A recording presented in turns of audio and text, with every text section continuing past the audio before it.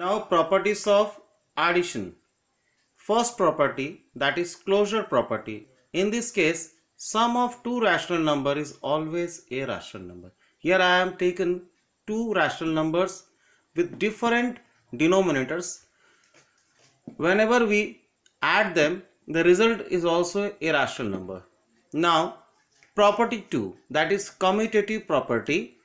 Here two rational numbers can be added in any order. That means here I see I, I, I would like to explain you that this two rational number 1 by 3 and 3 by 4 is added been added in different ways. That is 1 by 3 plus 3 by 4 or 3 by 4 plus 1 by 3 in both the cases results are same